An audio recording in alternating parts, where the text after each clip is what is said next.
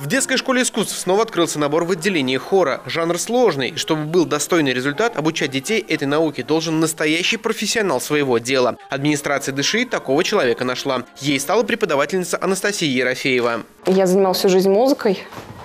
А, и в дальнейшем, когда я захотела пойти учиться в среднее специальное заведение, высшее учебное заведение, стал вопрос, куда же мне пойти.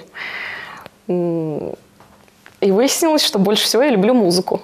А дальше учеба в Санкт-Петербургском университете культуры на хоровом отделении и решение, что жизнь стоит посвятить именно преподаванию детям. По утверждению Анастасии Ерофеевой, это ее призвание. Здесь она на своем месте и может делать максимум. Секрет победы и прост, и сложен одновременно.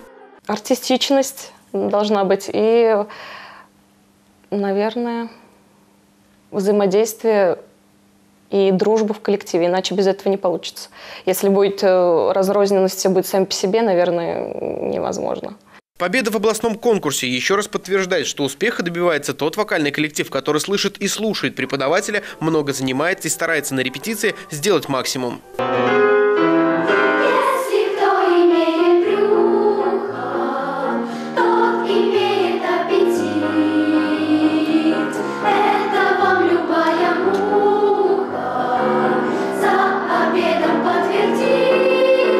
На вопрос, кому сложнее на сцене, солисту или хору, Анастасия Ерофеева уверенно кивает в сторону хора. Тут надо чувствовать соседа, быть частью команды.